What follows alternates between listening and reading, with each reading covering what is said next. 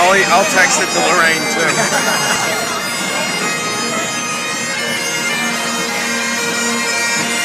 Thank